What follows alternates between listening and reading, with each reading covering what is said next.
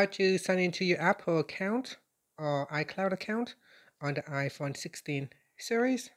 First, let's go back to the home screen by swiping up at the bottom of the screen. Then on the home screen, tap on settings. Then tap on Apple account.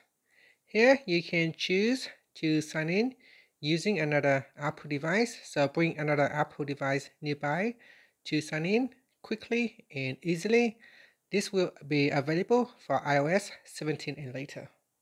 Now, if you do not have another Apple device, you can always use the sign in manually method. So tap on sign in manually and then put in your email address or phone number and then tap on the continue button. So put in your Apple account ID and password, then tap on the continue button here.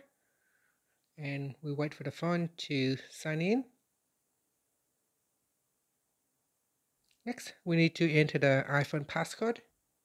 So here I have put in the iPhone passcode and we are waiting.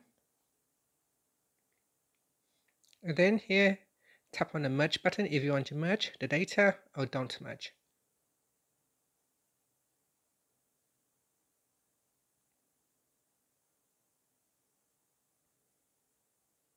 And that's it, we have now successfully signed to your Apple account.